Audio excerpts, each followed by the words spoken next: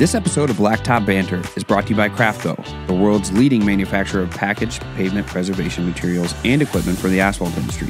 Learn more at crafco.com. Everybody, welcome back to Blacktop Banter. We're on site, we're on location, we're remote this time. You've been getting that a lot lately between uh, all the summits and conferences we've been going to. This wonderful studio is room 303, my hotel room here at the Marriott. Uh, we're in Cranberry, which is a suburb of Pittsburgh. Uh, had a great time this week with uh, a lot of our friends. If you're watching, you see my friend Daniel Good here from Bay Country Contractors, and uh, man, we had a we had a good weekend. There was a lot of people come in. I mean, uh, we got to see friends. I seen a lot of new faces this time. There was. There was quite a few new people in the room. Yeah, which is fun. It's always is. fun. They, they got that. Uh, you know, for us, we're really comfortable around all of our friends and everybody, and I, I worry sometimes that we're too comfortable that it makes them uncomfortable. Sure. You know what I'm saying? So I try to like fake being uncomfortable. You know what I mean? I walk in like I'm like, man, there's a lot of people in here. You know, while I'm standing by them, they're like, yeah, there is a lot of people in here. Oh, well, I better start mingling with some of these people, find out who they are. You know what I mean? but I'm not. But It um, I'll tell you, like you get in some of these rooms, like especially like over the last couple of days, where you, there, I remember being that new face in the room, mhm. and and I can remember quite honestly those guys welcoming me years ago, like I had been there forever. Mhm. So I, I I'm going to tell you that myself specifically, and then like there's a handful of others that really try to be intentional yeah, welcoming those new faces in the room because I mean, for real, if you're being completely transparent, they're scared to death. oh yeah, I mean, it's a room full of strangers. that, that look like they got their shit together. You're right. what they don't know is we're all figured it out. yeah, yeah, yeah. All, we're just happy that people are in the shit with us. That's all. That's all it is. It might look like we got it figured out, but any, anyways, I want you to introduce yourself. I know people have seen us kind of be in posts together and whatnot over the years, but real simple. Uh, give us an introduction of, of yourself, your your business. So uh, uh, you mentioned Daniel Good. Um, Yeah. I'm the uh, president of Bay Country Contractors. It's a civil construction company. Okay. We operate um, originally. Um, the company was started in Southern Maryland. Okay. So if you look at DC, a little south and a lot east of DC, kind of a peninsula down there, uh, represents like three or four counties, Okay. um, kind of uh, surrounded by the Potomac River, the Yeah. Patuxent River, but it's really kind of nestled down in there. Really.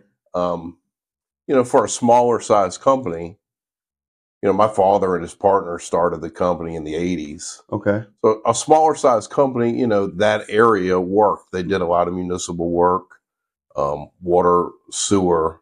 They did some private site development work. hmm Um, they did some site development work for themselves. In in that area, Yeah, yeah, in Oh, the okay. same area. You know, they'd go buy a piece of raw land. there was still raw land and. Oh yeah, man! Like the end of the the end of the road, like where I live. I can remember. I mean, it was way back, but I can remember where it was just farm field. Get out. Yeah, like literally at the road, the end of the road where I live, nothing but farm field, and like they ended up posting up a McDonald's on the corner, and that was all she wrote after that. yeah, and it just clicked. Yeah. Everything got there. Well, uh, was your family always from that area? So yeah, my uh, my fa- so specifically, we live in St. Mary's County, which Okay. is like the very tip of the peninsula of Southern Maryland. Um, my father father originally lived in Charles County, which is uh, the adjacent county, but they've always been from that area. From that so, area. What did it, what did they do that got them into starting this business? They must have worked in that. so they did. So like my uh, my father was originally like he did some farming when he was in, in his young, much younger years, and then they got into the construction uh, business, well industry, um, working for others, Okay. working for others. You know, running equipment, running crews. Yep. Um, what's interesting is a couple of the state highways in the area where we live. Uh, my father's partner, Mr. St. Clair, back then, actually um, ran those jobs when those state highways were built. Get out. Yeah, like back in the late seventies, like he ran some of that work. Um, so they both had been in the business, different aspects, different Huh. companies, and they came together uh, working for a small company, Austin Excavating, which was out of the same area. Um, I think is where they met. Yep. And being from the same area, you know, back then you're, uh, you know, those guys are either working or they're in the bar drinking. Yeah, yeah, yeah. Yeah, or they're working then in the bar. That's right. but um, like they had mutual friends, you know, a few mutual friends, so some acquaintances. They ended up working together, and dude, they really what started the organization was Gene had a bigger, Mr. St. Clair had a bigger family than my father's, Mhm. and um, they were just looking for more. yeah, I think our definition of more today and their definition of more like 40 years ago was a little bit different probably. you know, I think Mr. St. Clair, he had, again, he had a large family. He was looking to, uh, you know, more consistent revenue, what they thought maybe higher revenue. yeah, that's a lot to support when you It got a bigger family. It, it really is. yeah, And, and I think my old man, you know, he had just gotten to where he wanted to try to work for himself. yeah. Like he wanted to to be a little independent. That's correct. hmm So they literally started out with, uh, man, I've heard this story of I've never heard it, so you bring it. Really? they started out. I re- like I've literally heard it hundreds of times. but they- Perfect. They started out with what they called a uh, what a thirty four fourteen international tractor. With a blade. Well, it was like a, a tractor with a bucket attachment and a backhoe attachment, Oh my gosh. and they would dig water. Why not? They've been farming. They That's knew how to run those bad boys. And they were uh, they were digging water and sewer connections for new for uh, new Wow. houses. That's how they got into it. Yep, literally digging water and sewers from the street up to the house. Dang man. They do that when the weather was decent, and then um, what was that? What's that? Uh, Orangeburg. Were they using like Orangeburg pipe? Is that what that was called? You know what I'm talking about? Orangeburg. That must be from Wisconsin. Oh, I probably- probably Never heard- of It's that. like a it's like a black fiber. uh Maybe there's a different name for it, but it's like a black fiber pipe. We redid uh when I was on the village board where we live. Like we redid a street in in sewer, right? And everyone was like, "Oh, we hit Orangeburg," or I think it's Orangeburg. Man, I don't know. if That's what it's called. But they're like they're like, "Oh, we hit it." And like apparently the roots from trees can grow into it without breaking it and get across. That's why they roto rooter them out. I yes. guess. So we um like around DC, they call some of that like you've got clay sewer pipe, you've got terracotta sewer pipe. Yeah. I've never heard the term Oh, Orangeburg. Right, we're gonna look it up after the podcast.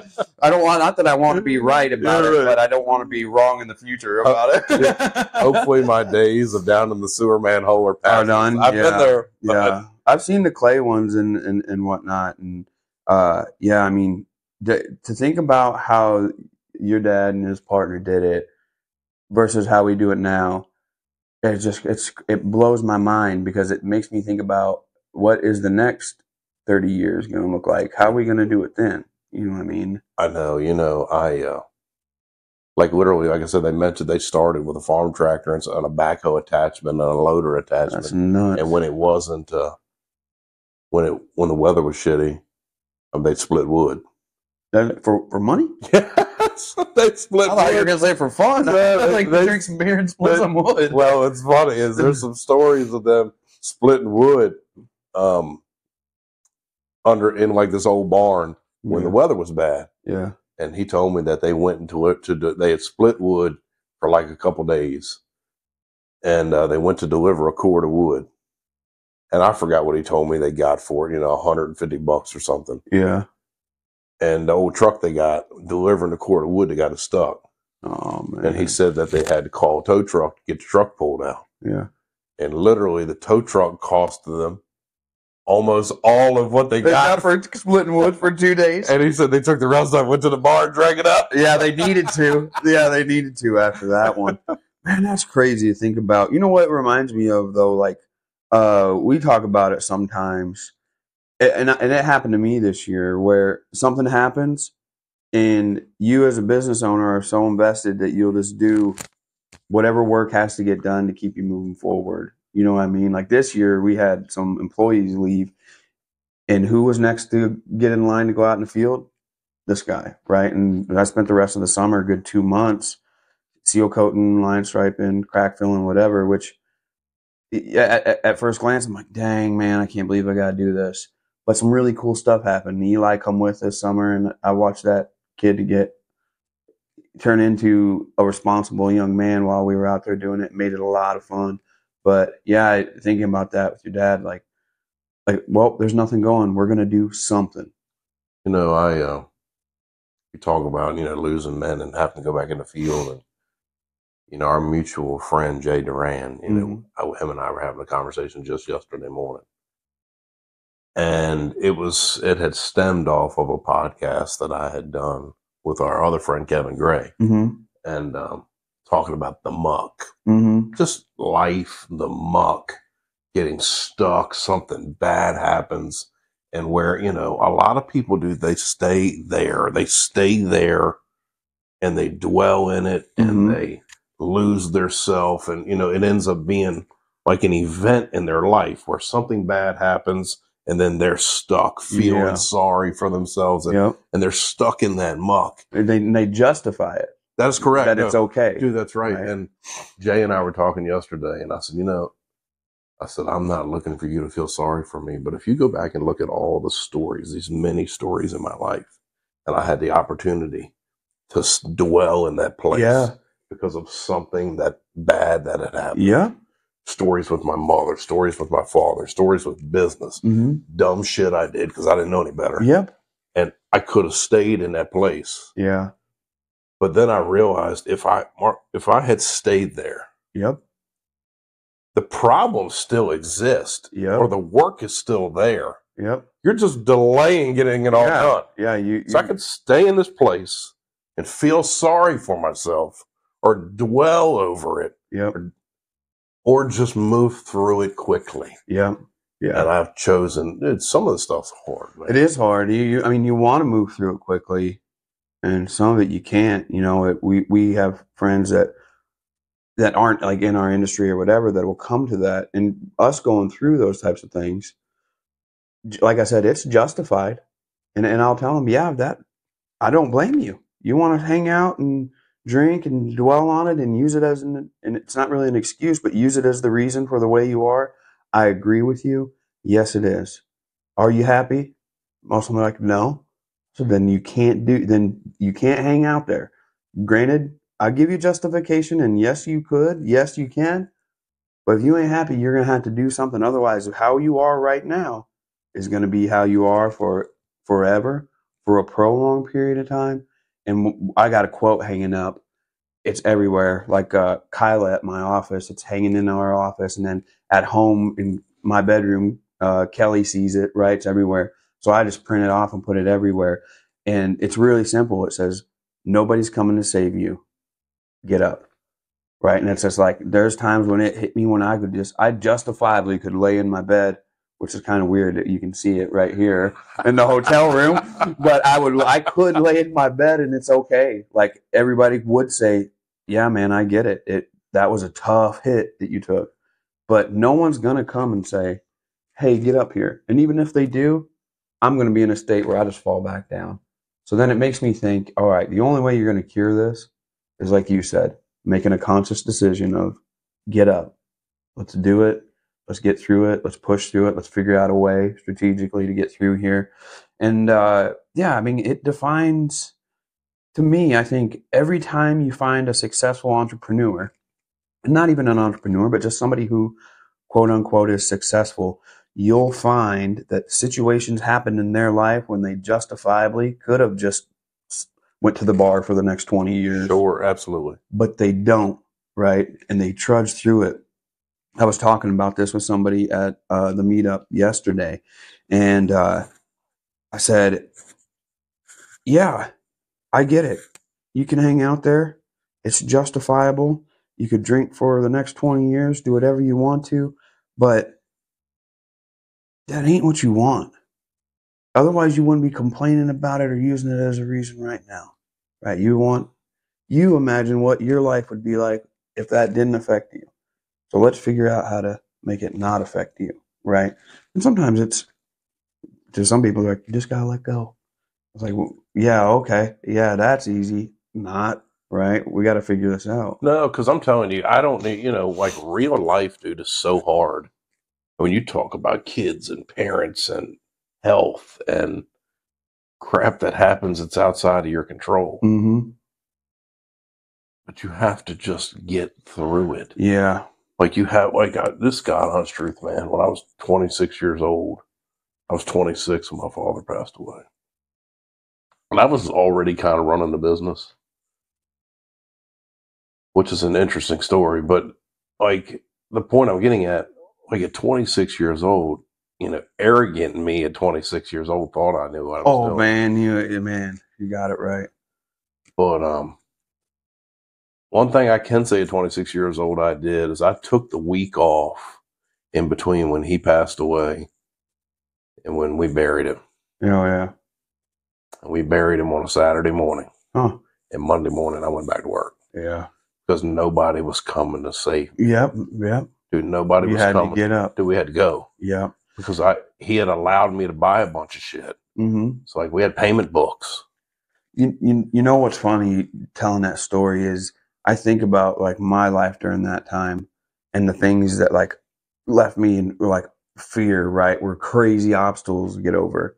Since then, the stuff I've had to make it through, business wise and personal life wise, since then, is so much more astronomically difficult than the stuff that I was doing then. That that stuff, you know, when somebody comes, you know, somebody, one of my friends or somebody else comes up and tells me about this, I, I you almost want to just start smiling. You're like, man, this is nothing. Like you're, going to be fine, right? And, and get to it. When when uh, my employees left, ironically, you mentioned Jay. I re- I recorded a podcast with him the day, the morning after my crew lead left, and I was telling him about it. And I said, I said, man, I said, you ain't gonna believe it. I said, I'm gonna have to go back into the field. I think. I said, my crew lead left.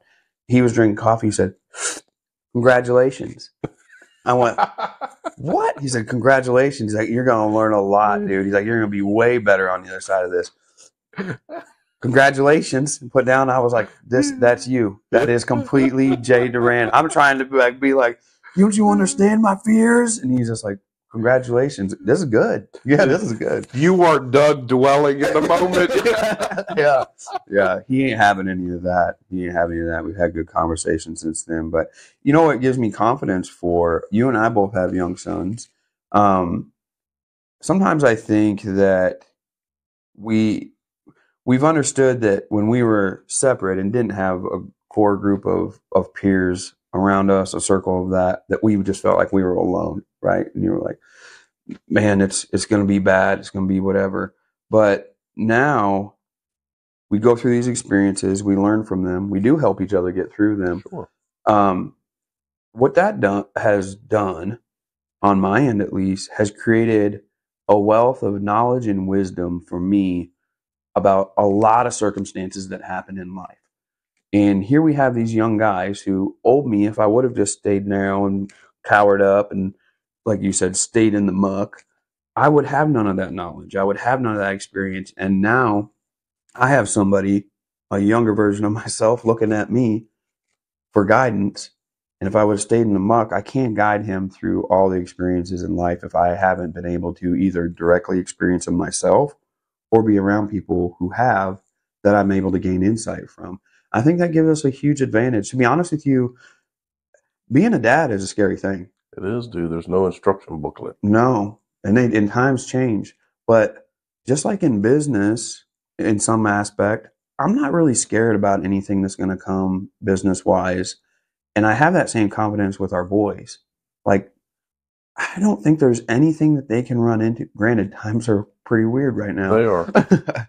uh, that that we ain't gonna be able to tackle, and I ain't gonna help them with. You know what's like interesting? We talk about like raising children and not being concerned. You know, when I was younger, it's it was a thing. When I would act up, I'd get my ass beat. Yeah, It was just a thing. I mean, it Yep. it wasn't everyday occurrence, No. but like when I would act up, I would get my ass beat. yep, And, you know, so it's 35 years later. And now I've got, you know, this little boy. yep. And he's a cool, I'm not just saying it because he's mine, because if he, he was a jerk, I'd tell you. Dude, he's the coolest kid. Yeah, He gets on the phone and he mixes up with my buddies from across the country. like literally, my buddy Nate Swink, him and Nate text and call. Like him and Brian get on the phone and talk.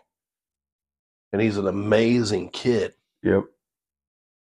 And I've never beat his ass. Yeah. Yeah. I've never I I'm not telling you that I don't believe in it, but I was I kind of made a deal with myself when I found out his mother was pregnant and this happened and the ch- baby got old enough and he started screwing up and I was like I'm going to try to do this. Yeah.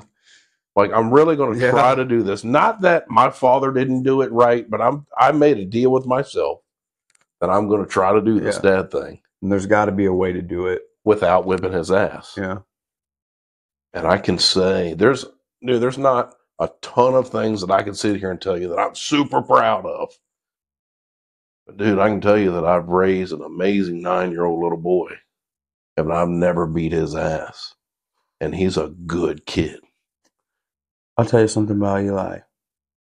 He's an asshole. He is 100% an asshole.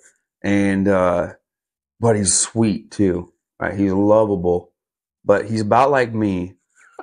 When he sees a window to, to bust your balls or, or to, to roast you, he's to do it, man.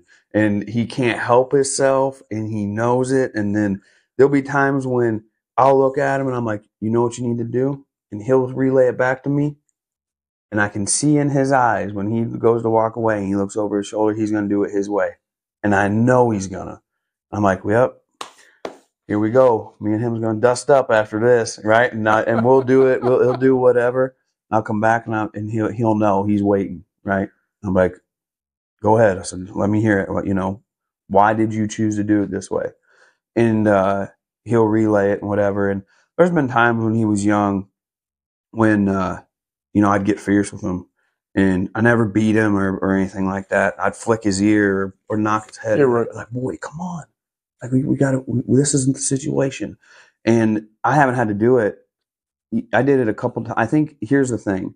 I think I did such a good job loving him so strong that the disappointment, the, the the disappointment I would have when they acted up and they could see it in my face and my voice was punishment enough when I realized that, I realized that's doing way more of a disciplinary action than me ever thumping him or flicking his ear or whatever. So since then, they've always been very respectful. Kelly and I get compliments all the time about how respectful they are until he becomes your buddy. When he becomes your buddy, man, you gotta be careful what you're wearing, what you say, how you dance, how your hair looks, everything, because he will bust your chops. And then when you give it back to him, he smiles from ear to ear. To him, that's you all loving each other, right? Being close. But trust me, he's he's an asshole. And there's sometimes where to him, he's friends with you sooner than they that person actually realizes that he's friends with you. And, and like he'll be like, They got mad, didn't they? I was like, Yeah, they got mad, dude. I was like, you told them their shirt looked stupid or whatever, you know. You had one where were we? We were somewhere the other we were we were at a hockey game, I think, and somebody was sitting in front of us, and we kind of chopped it up with them a little bit, was talking about some of the players, and the, there had been some beers or whatever. Not Eli, at least not that I know of, and uh, the guy was saying something about Eli's hair. He had curly hair till he cut it recently, and uh, I can't remember what it was. And the guy was sitting there, and the, Eli said, "I like your jacket." The man's like, "Wow, thank you, it's a black leather jacket, but it makes me sad." He's like, "Why?" He's like, because he said that must have been a small seal because it barely fits you. Right, and then the guy went, it, and it was up to here, right on the sleeves. And and I just turned and looked at the hockey game like nothing went on. I said, "Oh my god!" The guy looks back at me. I'm like, "That's his mo- That's my. That's his mother's boy." I don't know what to tell you with it, but yeah, he's he's a good kid. But I think that you and I are similar because, um, as I was explaining, most of like the joy. I really do try to look for joy quite a bit in the world. And I, I think joy is beyond happiness, creates a different feeling in, in your soul. Most of my joy comes from him and his sister, right? Like dropping him off on a parking lot and seeing him stripe the whole thing himself and me come back an hour later and he's sitting on the curb, you know, being like, man, what took you so long? Man, that gives me crazy joy. Dude, that's awesome. It's nuts, man. It's a a huge unforeseen blessing in my life that I just it's something so simple, but it just it gives me confidence that if something was to happen to me, Sure. right? And he was 26. He's going to be fine, dude. And it's all because of whatever I've been able to kind of impress on him, right? Or influence or just have him be in an atmosphere. That gives me confidence that I'm doing it right. It's kind of like when we, you and I would look at like our, our P&Ls and you see like a little bit of growth and you see some, you're like, all right, oh, I can relax a little bit. I'm doing it right. And I think that's like that confidence, like you, you know, knowing that Blake can interact with whoever, right, and hang out and loved being around us. Uh, it gives you a confidence, like, all right, I think I know what I'm doing. I think I'm doing it right. Yeah, you know, uh, so he's playing football right now. Oh yeah, And uh like literally when they start playing football, they start practicing in like late July. Like late July, early August is when they start the practice season. yeah, and uh, got closer to the game season. And game one, the coach chose like three three children for the team captains. hmm The team captains to be out at the beginning of the game. They walk out there, do the coin toss, flip the coin, and after a couple games, coach took two of the three and pulled them out and said that they didn't deserve to be team captains. hmm and that Blake would be the only team captain. Wow, He's the only one that demonstrated true leadership wow, man. and that that was a privilege and that um, Blake would be out there for the rest of the season by himself. Dang, man, how'd that make you feel? It's so much of what we talk about is leadership. You know, we get in rooms last January, we were in a room with John Maxwell and we listened to him for hours talk about leadership. Yeah, you know, my brother Brian Hess, you know, we talk like every discussion we talk about leadership. And that child has gone out there and become a leader of that team. yeah, And I can't explain to you the feeling. Like I literally jumped on the keys and started texting Brian. I was like, dude, you won't believe what your nephew did. You know what I'm saying? yeah. Uncle Brian rubbed right off on him. I, you know what it reminds me of? I think about this in, in that regard. It's really easy if, let's just say, our boys stepped up, they picked up a football, and they threw it 75 yards. You'd be like, whoa, dang, they got some talent, right? But then that's just a natural thing. Like that, they just be there. Now, with practice, they can improve on that That's right. right? Think about our two scenarios with the boys. Eli had to study. He had to work at it. And he's not great, right? He's not like the top level guys that we know. We know that. He's 12 years old. But he's demonstrated an understanding and a desire to hold himself and on a craft to get good at it, especially for his age. And I think about that with Blake, right? Like being a being a great leader isn't just you ain't born with it, right? Right. And I've seen Jocko last week, which is mind boggling to me, right? That I'm about to tell you a story about me meeting Jocko, but he said that right, like they're not good leaders aren't born; they're made, and they're made through osmosis, which means other leaders have shown them how to be leaders, or they're made leaders through training, right? This is how you be a good leader, and they work at it. How crazy is the fact that your boy, being around good leaders, including yourself, has adapted the natural, the natural being of being a good leader that early on. He's got such an advantage, right? And it's not it's not a natural born talent. He's he's had to hold himself and make mental choices to be a good leader and hold himself in that regard. That's something to be proud of, man.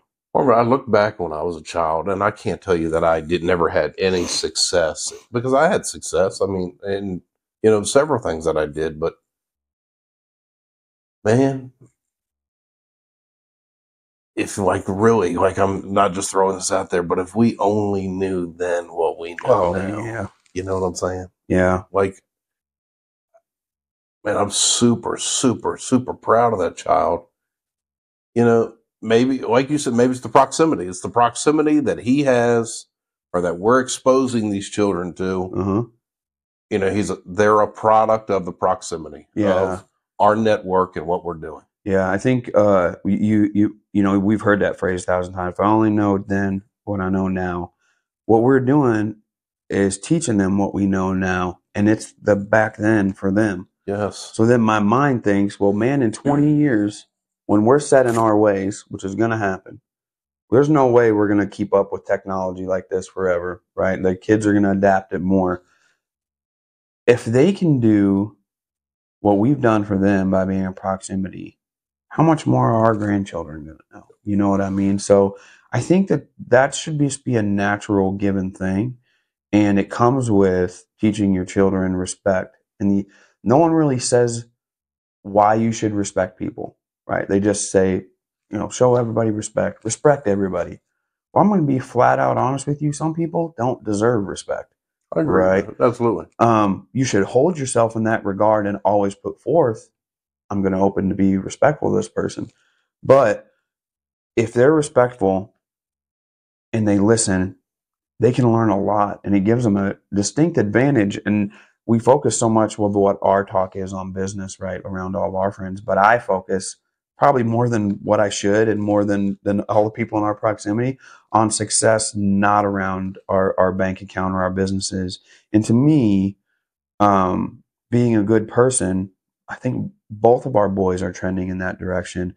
And to me, that's success, right? And for us to be able to um, impress that on them of this is also very important, right? Being a good leader, um, getting to know somebody really well, and then uh, being somebody that they can come to, right? So then- So then you can come to them too at certain times. Uh, it's a it's a huge thing. I think it's it's it's probably to me the largest part of a legacy if you're going to talk about the impression you make while you're here, right? Um, I always, I always, I don't know if we got anybody in our circle with this name, and I, I hope I hate it if I do. I'm sorry, I don't mean you, but I see a lot of time people say like legacy construction, legacy builders, legacy whatever, and uh, it's always about we're, you know we're going to be the biggest, baddest, and best. But then uh, I had a conversation with John Rugg yesterday, and he was like, "I want my legacy to be the lady that couldn't drive her car to see her mom because it wasn't dependable." buys a new car so she can go see her mom all the time because she loves her and it's important to her and time is short. I wanted to be, I was able to create something so that two of my employees could get out of renting an apartment and have something they own and buy themselves a house. Uh, and John was just like, I just want to be the good person. I just want to be the good person. And John, uh, we were talking earlier about people in the room, you know, when they're like new and fresh. I, all this morning, I was thinking about Tyler. I seen Tyler for a minute and really wanted to ask him. I mean, they're gonna they're gonna be, Big John's gonna be a granddad, right, and and whatnot.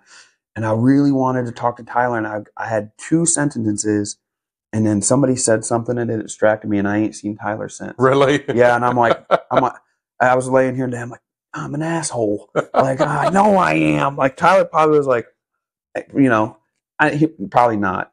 He's a good guy. He's got a lot of other stuff going on, and I know it probably isn't on his radar. But a different person outside of our circle probably would have been like, "Oh, I see where I rank." You know what I mean? Or you know what's crazy is like really, if you look at Anthony Mann and his son, you look at John Rugg and Tyler. Man, if I had been in a room Oh, of people like you and I yeah. at, you know what I'm saying, where we are in our walk right now, then Mm-hmm. look out. Those boys. Where their heart is, initially because of where their heart is and where their intentions are, Yep. being around us, Yeah. and it's all of us, not just you and I. It's the whole Yep. circle. But mainly you and I. Dude, them boys are going to be unstoppable. Yeah. I watched Anthony Mann's son yesterday. Think about where their baseline is. Dude, that's what I'm saying. I watched Anthony Mann's son yesterday. I had when I got done, I had to go in the other room and wipe my eye a little bit because like he challenged his father in the most respectful fashion possible. The child is still in high school. Mm-hmm. He's in high school. He's getting out half a day. He's riding Mhm. the concrete troweling machine. And he challenged his father in a respectful, intelligent fashion because of something he picked up from you or from me or from, you know, one of the 45 other people that were in the Mhm. room. And I'm thinking, kid, And you- that's why his dad brought him. yeah. That's the crazy part of it. and I'm thinking, like, this kid is re- the real deal. Yeah. They're respectful and they thank you, Mr. Good. Thank Yeah. you. Yep. Yeah, he came up to me at the end and he's like, just wanted you to know I really enjoyed getting to know you and, and spending time with you. I had dinner with him. And uh we, we hear all this all the time, man. These kids don't want to work. These kids don't want to. It Bull- isn't that at all. Bullshit. Yeah. Bullshit. That kid will do anything Yeah. because he's been grown Yep. in a household and a group of entrepreneurs. Asphalt maintenance contractors. Winter's just around the corner, and we all know the harmful effects that colder months have on pavement. Here at Wiscoat, we've tried a lot of products. We keep coming back to Crafco because of their crack and joint sealers are the best in the industry. No matter the climate that you're located in, Crafco has products that will fit your needs. Find the full product lineup at crafco.com. That's C R A F C O.com. Have you seen the smoothness and compaction that Dynapac seismic technology has recently brought to the asphalt industry? It's incredible. And Dynapac's CC900G roller may just be the best roller on the market for driveway and parking lot paving contractors. It's even better than the little yellow one that you're used to seeing. But don't take my word for it. Give the CC900G a test run yourself by visiting Dynapac.com and finding a retailer near you. Say goodbye to potholes and roadway damage without the need for large crews, heavy equipment, or toxic chemicals. Aquaphalt is the only permanent repair material for asphalt and concrete that uses water. And installation is simple. Just pour, add water, and tamp. It's that easy. An Aquaphalt repair can be opened to traffic immediately and fully sealed within 24 hours. Plus, the product is backed by a three year warranty and is made in the USA. Visit aquaphalt.com. That's A Q U A P H A L T.com to learn more.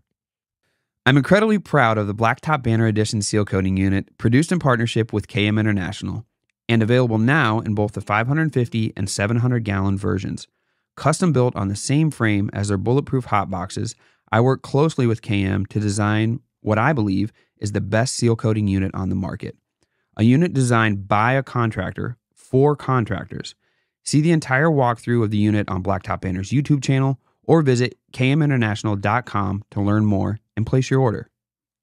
Since its inception, Dubuque Asphalt Maintenance has branded our trucks with the 1 800 Blacktop number from the 800 Pavement Network and consistently seen increases in leads and jobs completed. I know the 800 Pavement Network can do the same for your business. Visit 1 800pavement.com and get set up with your custom phone number today. Obviously, since you and I last got to hang out, I'm I'm half the man I used to be in a good way. But that became from that came from Eli challenging me, right? Like even if I w- and I still can wanted to put it on him, it's going to get tough, and it's going to be tougher and tougher. Yeah, and I was telling him it one day. Like I said, he does. st- I tell him to do something, and he does it his own way. And uh, I said, if I have to do that, I said, you're getting it. You know, did one of these to him, and he went, "You're gonna have to catch me first. And he and I was like, "Dang, all right." Mm-hmm. I said, "Well, you gotta come home at some point." You know, like that was my comeback to him. But to be honest with you, like that was his challenge to me. He, he wants to go hike in the desert. He's like, "I can't do that with you. I want you to play soccer with me." Yeah, you can't do that. He's like, "I'm never gonna have that. I'll never have that." This summer, we did an adults versus kids soccer game, and I were in from one end to the other. We we go to the middle of this field. I'll tell you the story. He's he was waiting, right? Finally lost enough weight. I've been practicing, you know, I've been running, get my cardio up. We get to the middle of the field to meet. It's parents versus kid, and I walk up, shake his hand. I said, You ain't getting one effing goal. We'll see about that. I said, I promise you ain't. I was nearly dead, but I would go down, take a shot, which I didn't score, but at least I got shot. I don't think I told him he was even going to. I said, I don't, you ain't even getting a shot at getting a goal. Buddy, I ran from one end to the other when I seen that they were going to pass it to him, and must have been 10 times. I'd cut right in front of him, boom, kick the ball out of the way. That's all. And I was dying. I mean, dying for me to follow through on it. We'd get close. To, we'd get close next to each other, and they was throwing the ball in or whatever. And man, I'd, I'd just I'd rock him, right? I'd Get him down to the ground the best I could. He'd get back up. Finally, we got done. I said, "Did you get what you wanted?" Yes and no. He said, right? He wanted to. He wanted to rock it and just prove that he could do it. But then uh, last great. that was fantastic. I about died. My legs hurt for a week, right? But I told everybody for a week. I know he gets being an asshole from me because I told everybody for a week. I was like, played Eli in soccer. He didn't get one goal. Every time Eli said that, they didn't even ask if we played soccer. They don't even care. I said, it ain't about them. It's about me. Yeah. But uh, last week we trained this summer tr- for run a 5K, which sounds ridiculous to people, right? But if you knew me before, I couldn't go five meters, let alone 5K. And uh, last month we were in Louisville and ran a 5K, and uh, he beat me. Uh, I'll give him that. He beat me. Um, but when we were training, when we first started, where we are, it's in a, a like a subdivision, and the middle of the subdivision isn't developed, and there's a loop Okay. so you can see each other when you're running it. We we we uh, measured it seven times around is a is a 5K. So there'd be times where we started training, he beat me by two laps, and then when we got near the end, I could see him looking, and he'd look, and finally, like when we were ready to run the 5K, I'd be 60 feet behind him, and he'd keep kick, then boom, he'd take off because there was no way he was going to lose to me. And I got it now. Like before we went to the 5K, I can almost catch him twice. I'd catch him by like the fourth lap, and he'd kick, and then he'd wear out, and I'd come back again, run a steady pace. But we we we would time ourselves for our personal record. And what's crazy is he made me better by challenging me in that way. And because I'm open minded enough and I, I love him enough, I took that challenge on and I and it, it kind of I had two revelations when we ran. One, um, I can do anything if I really focus on it and if it means a lot to me. And it did mean a lot to me. We planned this. I had to prepare and make my run. But we got into and I'm going to relate it to another story. Don't let me forget. I, you're my guest, but I'm talking the most. It's all good, dude. Okay. Uh, we get to this 5K.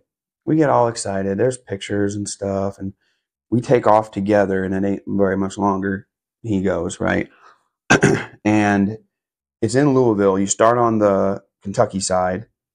You run over a footbridge that goes to across the Ohio River. You turn around, and the other, you run right across the same bridge, right? So we get going, and we know our personal records. They're timing us and I'm running with the slow dad mob, right? And Eli's running with the actual runners to Yeah. start with. He's running with guys that listen, they got short shorts on, they're wearing straight up running shoes with little tiny like muscle shirts. I'm like, these boys run, yeah. run. This is what they do. this is what they do, yeah. And uh, he takes off with them, and then we I get going up the bridge, and I see the guy that's wearing that thing is already coming back off the bridge. I'm like, yeah, he's probably this was probably a warm up, right, for him. but then we're coming across the bridge, and I see Eli running with a group of people. They're and they're athletes, right? And he's running with them. He's struggling, but he's running with them. And I get across the bridge. I turn around. I go back, and Eli's waiting immediately. And should I know, Eli's talking to the guy that was wearing the shortest shorts you ever seen and this, right? Eli immediately finds him at the end of the race, right? And asks him how often he runs, how he runs, what his training regimen is. All on his own, he asked him. I didn't say, hey, go talk to the winner, which is one thing for me to notice, right? That he goes to the best to seek the advice on how to improve. But then when I come and run across the finish line, I got looking, and my time was better than any time I put up at home when we were training. And Eli finished in front of me. I asked him, I was like, what was your time? He said, I beat my best by four minutes. And we get thinking on the way back, I said, why do you think that is? Tell me why you think when we were alone two days ago and ran, we couldn't run the best times we ever ran, right? I knew the answer already. I want him to think, and he's like, well, I didn't try to keep up with you. I was already in front with you. He's like, but here, there was a group of people that I stuck with that were doing better than me, and I just wanted to keep up with them. I said, and by doing that, you beat 80% of the field. If it was me and you, your time would have been probably in the half of the field, if not less. So that's something to remember, right? Surround yourself with people who you know are doing better or striving to do better, and you're naturally going to do better, right? Raise the bar. Raise the bar. Yeah, yeah. So I mean, it was it was pretty pretty intense, and it reminds me of John Rugg yesterday. He mentioned while we were in our our podcast together, guys, something happens to me, make sure Tyler stays here. Like he didn't say teach him this, teach him that, do any of this. It was the awareness of just him being here is going to be enough to keep him in front where he should be that he's going to do better than probably the best of the world, the, the majority of the world in all aspects.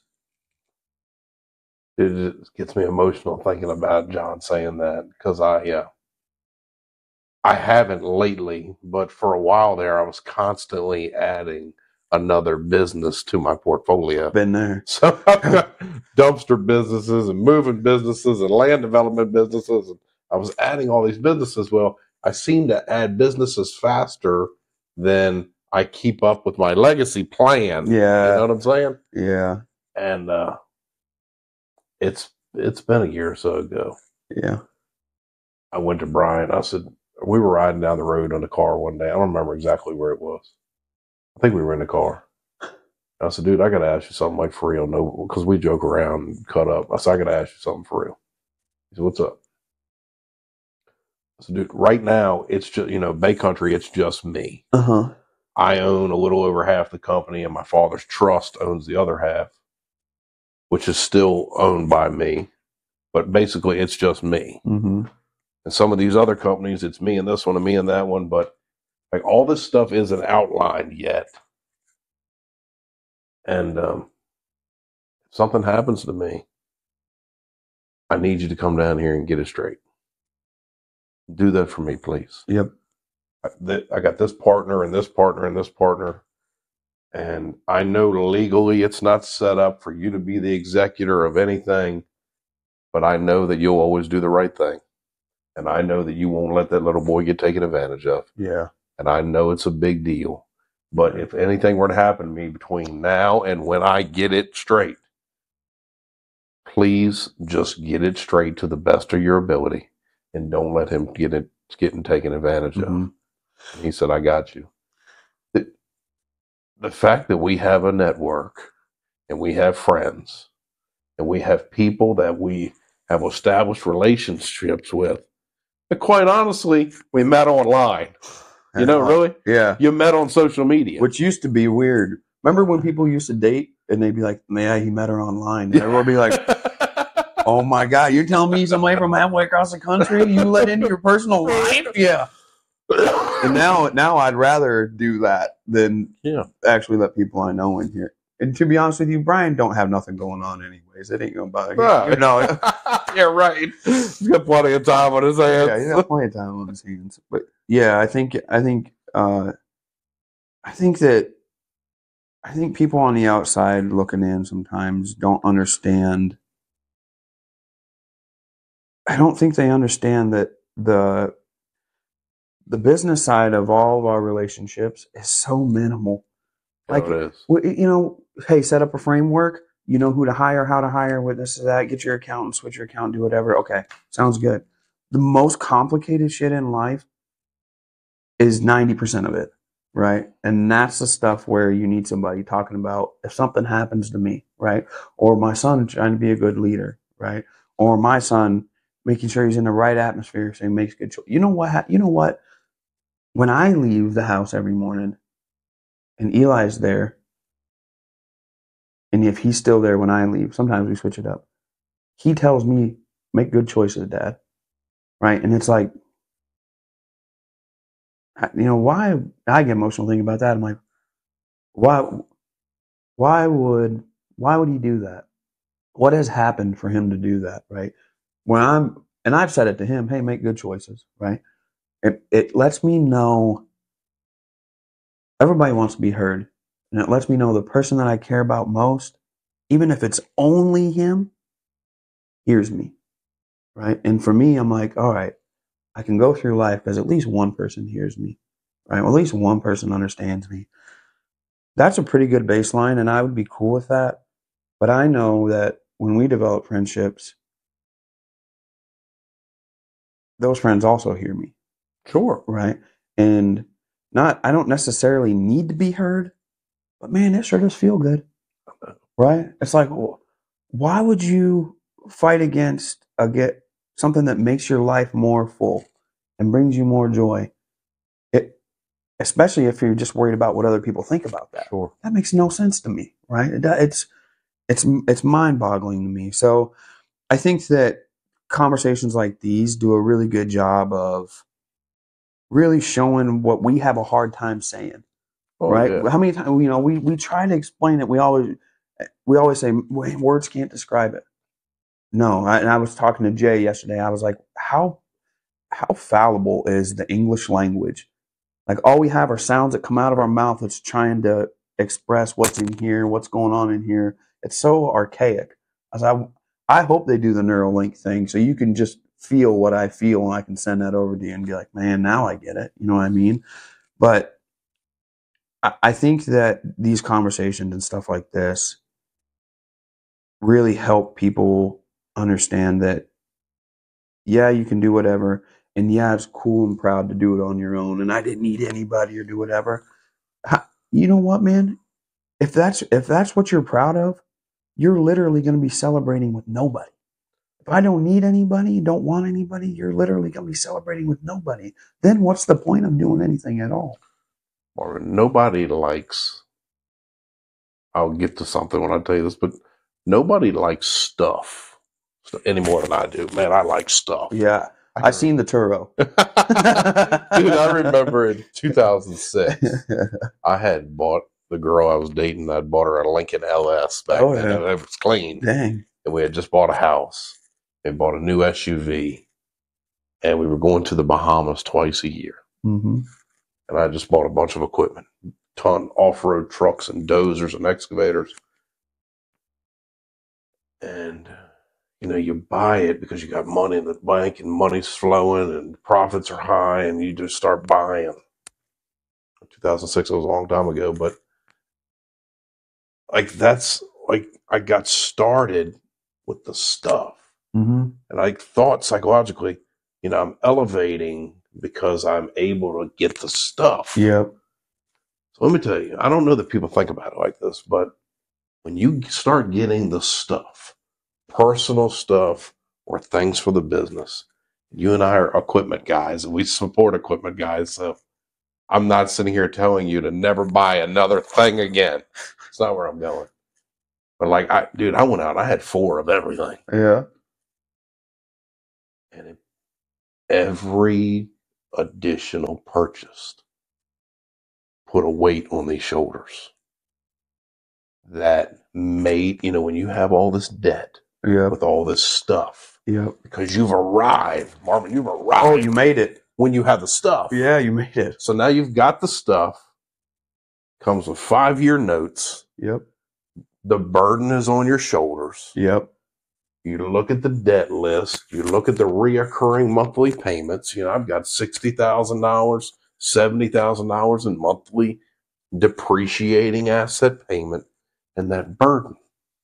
Well, I've got to have that next job. Yep. Well, man, I got all this stuff. I've got to have anybody that can run this dozer. I got to have it. Anybody. Anybody. Yep. Does it core values? I don't care. window. Doesn't matter. Yep. Can you run the dozer? Yep.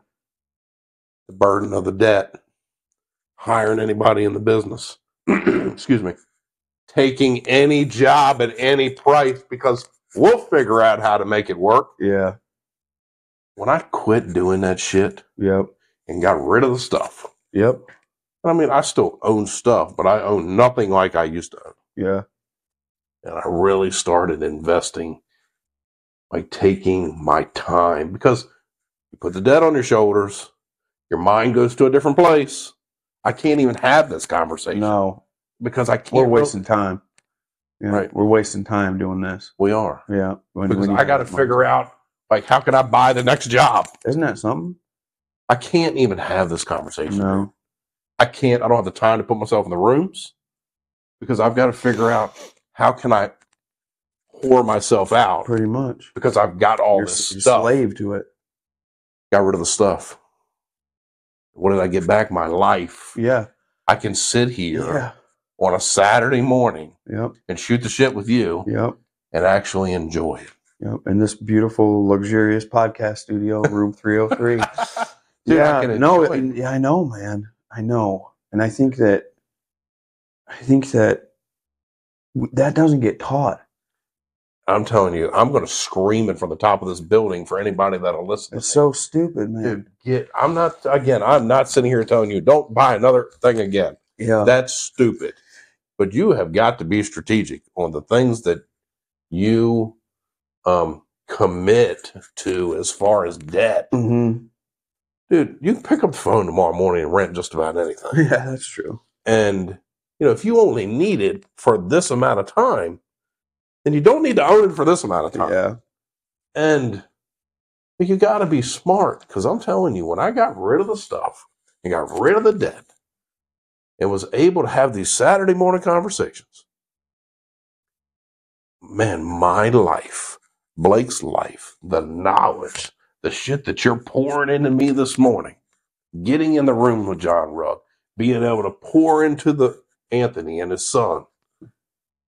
I mean, just the opportunities that I'm literally I'm, I own half of a moving and storage business in Northern Virginia.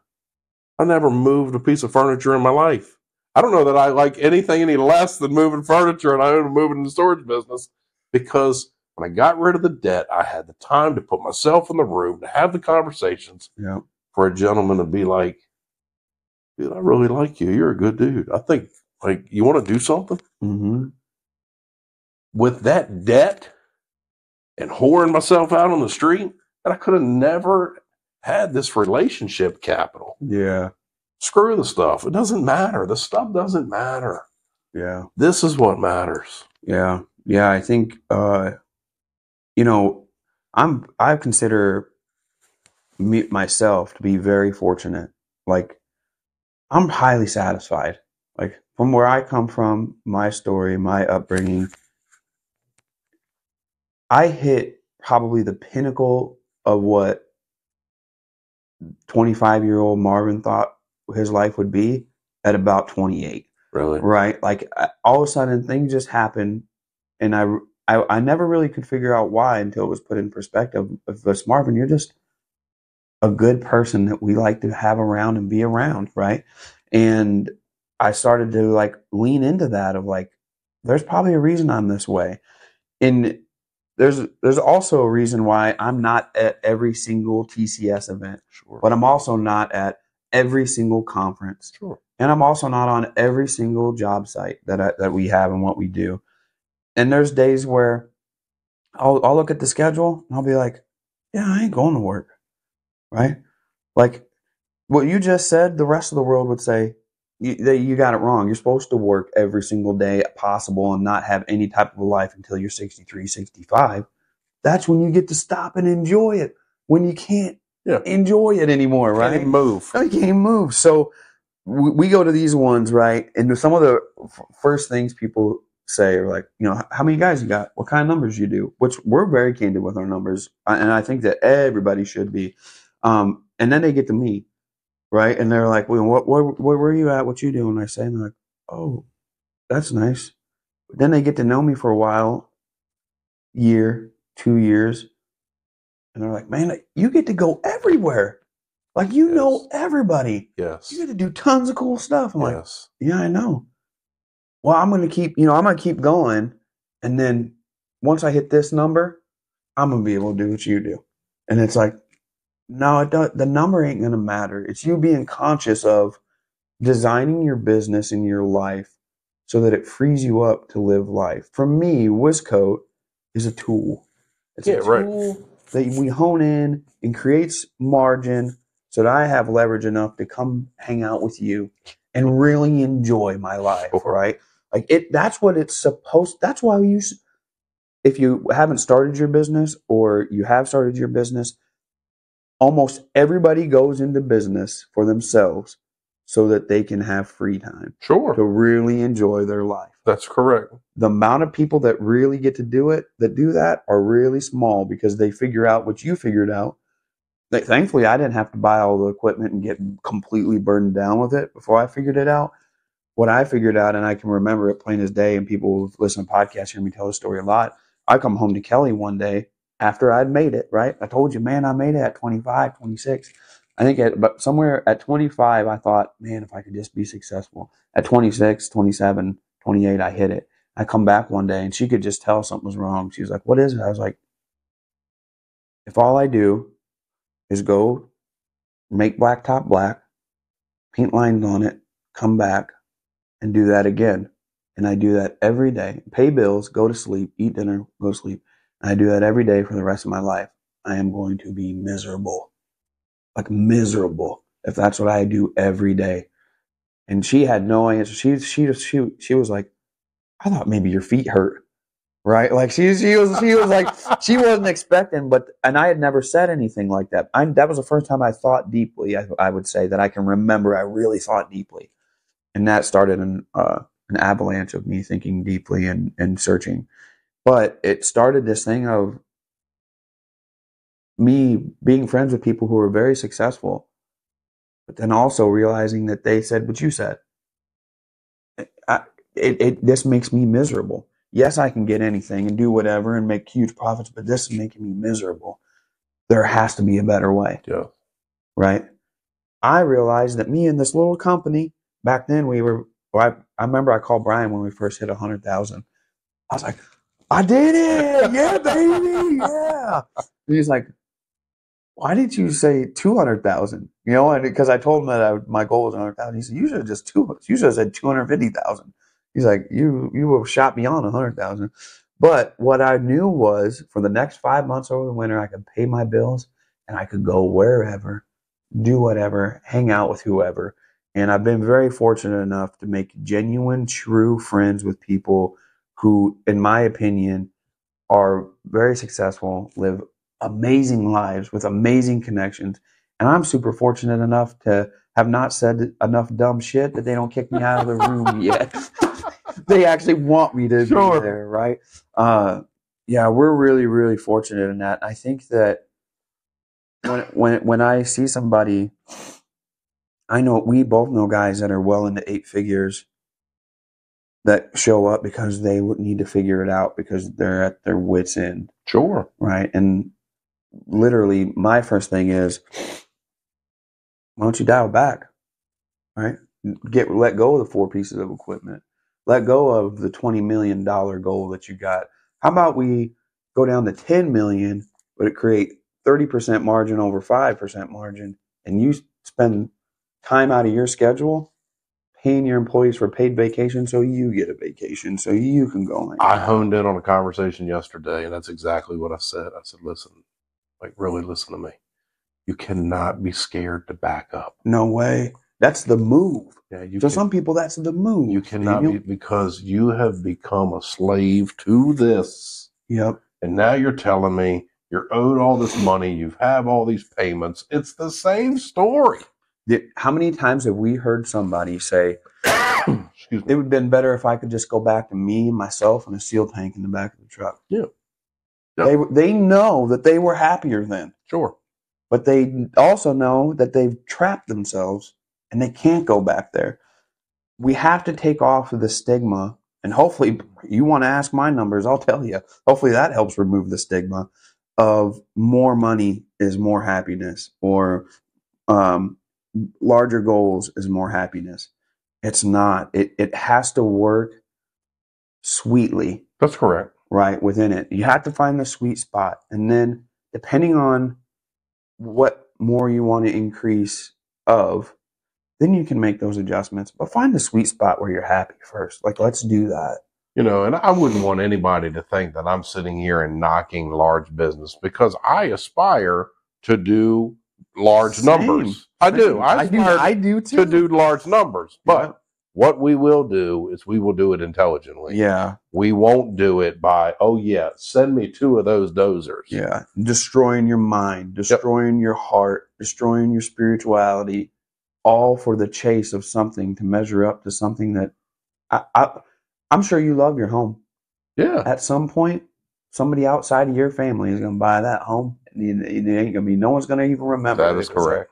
These pieces of equipment ain't going to last forever. None of it is right. The only thing that's going to matter is what you pass on to your son, who passes on to his son, or our great great great grandchildren go on ancestry, click a leaf that has us on it, and it gives them pride long after we're gone of what we did here by being good people, producing good things. To me, that's a sweet spot. Also, I will brag a little bit. We had about 30% growth this year at Wisco. Good for which you, is dude. good, right? That's great. Yeah. And I still have my free time to come and hang out. Like there was a time when I probably had that growth and had no time to do nothing, you know? Intelligently, I knew then if all I do is go make blacktop black every day for the rest of my life, I'm going to be miserable. I have to make a change, right? Dial back, get smart, dial forward. Yeah. Right. That's the key. Like let's restructure, take away the stigma of working all the time, working your guts out, having no time for nothing else, no hobbies, no nothing is the way to do it. It's totally not. You're gonna come to me at some point and I'm gonna be able to see it on your face, hear it in your voice, see it on your child's face, who's ever's face, that something is wrong. And what's wrong is you ain't spending some time filling it up with the things that really make you happy. You know, we talk about like how cool these two boys are. You know, if I was doing now what I was doing then and I had that burden and I was selling myself, I'm going to tell you that the little fella, the little cool little dude I've got now wouldn't be so cool. Bingo. You hit the nail on the head. You hit the nail on the head. Kelly and I talk about this a lot. Anybody who listens to podcasts knows that uh, her and I, we have, what happened was when I changed back then, Kelly stayed the same. She loved Marvin that did campfires and went fishing and did all that stuff. And uh, I, I'm not that guy anymore. I still enjoy him, just not every night. Yeah, you know right. what I mean? But Kelly's, she's a country girl. She loves that stuff. So we've had issues and back and forth, but we love it. We still fight for it. We still go for it and those types of things. But um, you know, she's proud of who I am. I'm proud of who she is. It's just the crazy part is I know the same thing you know that if I would let the things that could keep me in the muck keep me in the muck, those kids ain't going to turn out the way that we hope they turn out. They're not going to be that. Or they're going to look somewhere else for the answers because they know that we don't have them, right? And that's what brings me to TCS. It ain't the fact that I know guys who do very well in business that can help me do well in business, that create my revenue, that make me here. It's not. We have guys that have strategically built their business in a way that they use it as a tool to enjoy their life, to educate themselves, to educate others, to educate their children, the people they care about, people close to them. And I think that that's the key. And what's crazy is we was talking about this yesterday in uh, the podcast we did of this big thing. I I remember as a kid going to euchre tournaments. You know what euchre is? Euchre is a card game. It's kind of like a rummy version of of a game. It's Yeah, really big in the Midwest, Right. but there you'd go to euchre tournaments with the community at the VFW hall, community hall, wherever, and play cards with all these people. That'd be like a hundred people in here. A lot of them old too, and they get mad when you made the wrong move. These old dogs, they'd be like, "Oh, I what you're doing." But what you did when you were there, you would ask people about their family. They'd tell you yes or no whether it was something good or bad, and you learned from their experiences how, what moves you should make in life. Right? We stopped doing that. Everybody got on the internet. They don't have to be in person, Right. and everybody on the internet wants to be right. Right. right? True. They want to say hey dudes or shoes, not slippers, right? Like they that's what they do. And what's crazy is we've we've found success in doing something that we always did all along, That is correct. right? Like you we used to do that. It's so ridiculous to think that, but it's been advantageous to us, man. And we're able to have good conversations like this. And what's wild is Blacktop Banter started, I would have said, tell us about your business, Daniel. What kind of revenue do you do? How many sales guys you got? Tell us about your equipment, Sure. right? What does the future look like for Bay Country? Not that I don't give a shit about that right now, but I really give a shit is how you doing, Yeah. right? And don't say good. Like say tell me how you're doing. Like, how you're really doing? Yeah, how you really doing? Yeah, yeah. John Rugg made the mistake of asking Jay Duran how he's doing yesterday. I said, Dude. "Boy, I'm getting out of here." Yeah, yeah, yeah. Did you pull him up a chair? Yeah, yeah, yeah. Jay went for at least ten minutes, and he turns to John. He's like, "Thanks for asking." right? Gets up and leaves. Like, dang, boy. So, no, I, if if I could to to to, to round it up and and round it out here, what would you say? You would say is one piece of advice you think is crucial for somebody to be to have more joy in their life. What do you think that would be? Business. It doesn't have to be construction. Mhm. But if you choose to be in business, let's just take that vertical. Mhm. You know, this whole concept of peer groups, peer groups, and putting yourself in the rooms and business coaching, you know, business coaching, that's a slippery slope because Mhm. you really, you know, you and I have been around people that, you know, claim their claim to fame is they're this business coach and they've Uh-huh. never built anything. Yeah. But put the coaching to aside for a second. I've got a good friend back in, at home that's got a uh, rather large HVAC company. hmm And uh, he told me several years ago that he had a peer group. And I was like, you know, what do you mean? What do they do? He said, well, it's, it's, it's other HVAC companies from all over the country. And we get together, you know, quarterly. And uh, we talk about best practices and what we're doing and how we're doing and family and life and faith. And we, it's like, really? He said, yeah, man, you got to get one. Like, you've got to get one because, like, my success I contribute to like to that peer group because he said the guy down the street most of the time he won't share any of his Yeah. knowledge. He said, but the guy across the country will. Yeah. I said, all right. And I started searching. And I went through a couple. I mean, I stuck my toes in the water at a couple places before I landed um, here, what I call home. hmm And uh, it doesn't have to be lonely, dude.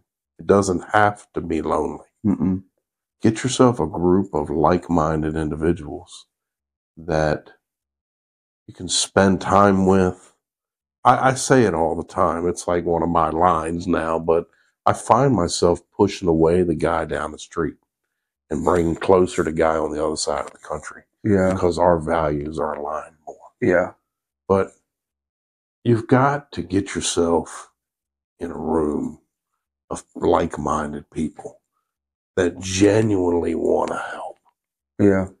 You know, whether it's your community or the TCS community, or there's other communities, you got to get yourself in a room of people that genuinely want to help. hmm And it's not, it's not monetary motivated. They just want to help. hmm like when the Callaways left this morning, like he's like a second father to Mhm. me.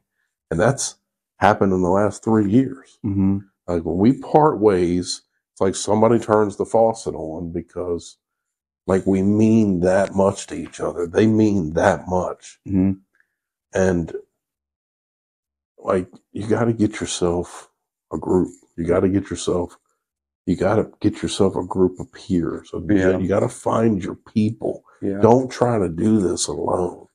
Yeah. Let me share my experiences of mistakes in business, being a dad. I've never whipped his ass, that I had my ass whipped. Let me share that with you. because maybe it gives you a different perspective on what maybe you could do or try or what you're doing or that's really not working. Maybe I need to try that. Get you a crew, man, like for real. Yeah, yeah. I think to think about that, I think people also think that you either had to be all the way in or all the way out with everybody when you're in that group. Like, get that group of people to help. After a while, you just want to be around them. Like, there's nothing I can do really business wise to help Daniel Wright, but I do offer him sometimes and be like, man, you got to think about like the emotional effect of some of this stuff. Like, you find a yin and yang with some people, Sure, right? man. And I want to go to Charlotte, not because it's going to teach me more about business, not because I'm going to get some great enlightenment, not because I'm going to party my ass off, which does happen once in a while when I go to but I go there because my friend's there who I love. And I just want him to be by me. It ain't not, it's nothing more than that, right? And it don't have to be. You won't have that if you don't get in a room with people who genuinely have the prerequisite of they want to help you. Right? You find people who want to help you because they care, right? Well, then that frees you up to care too, right? Once you get there. And I think like in our group, right, there's people who are best friends. They've become best friends. Daniel Wright's my best friend. I'm gonna be honest with everybody that's here in Pittsburgh. I don't like anybody as much as I like Daniel Wright, right? No matter who it is who's been here. I don't care who it is. But that's just because we connect, right? Dude, you know what's so special, dude? He's rigid as shit. Oh, he's, t- he's tough. And Dude, it's like bust his ride. chops. It's like I mean, he hates that shit. are you gonna ride or roll with sandpaper to Charlotte when you go to there? 'Cause, dude, I know. is rigid and rough, dude. He's abrasive. I know, dude. And I say shit like I say shit to him sometimes just because I know. I do. I pull the Eli. I say shit to him sometimes just because I know he wants a smart, tactical, defined answer, and I don't give it to him. I give him something philosoph- philosophical that has no. You can't go on Google and find it. It's something that I found out on my own by meditation, Daniel. But it's the right answer. And Daniel's just like, "Ugh," you know, he's rigid. But at the same time, if I lived my whole life on a whim, hoping that the universe is going to deliver it, and I didn't have Daniel Wright saying, Marvin, no one's going to come say to you, get up. This is the next step. From there, you're on your own until you get plateaued. You need another. He did it last night. He did it last night at the table, right? When we were leaving dinner. He did it to me last night. Today I owe him one. So when he- when he's out somewhere doing whatever, I'll drop a little bit of knowledge that comes from the ether of the universe on his ears and let him know that sometimes the reason doesn't have to be a clear outcome reason. It can just be this, and that'll be good enough. And I really, really, honestly, truthfully believe that my life would not be as joyful and I wouldn't have as much fulfillment if he wasn't as close to me as he is in it, right? Now, I know I said he's my favorite, but everybody else is just below that. And then there's a lot of people way below that out in the world, right? Not necessarily in our group, but you ain't going to find that on the internet. You ain't going to find that without meeting somebody and really meeting them and being in a group of people that I don't want to say met the prerequisites, You're right. But the whole reason that they inquired, whether through BB or, or directly TCS or whatever, about it is because they're looking for something. So you know that if they're even in the room, they've already pre qualified themselves to be in the atmosphere of what we've created and been part of here. You know, I don't want to go down another rabbit hole, but you know what's cool is you know you talk about Daniel Wright. You know,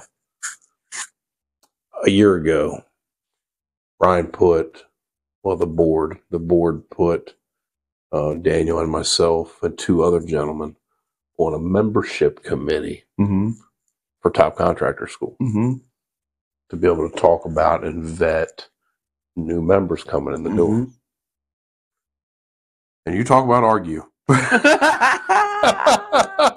because we all like we literally see it's a long way to Richmond and we need to travel 95 you know? yeah, yeah, yeah. and we're trying to we all have the same goal we want to grow the room Mm-hmm. but how we're going to get there you know, Bill wants to go this way, and Nate Mhm. says, "Oh, take the detour."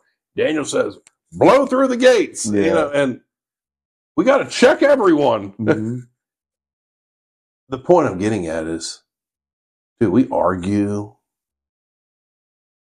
but it's just because we're trying to make it and each other better.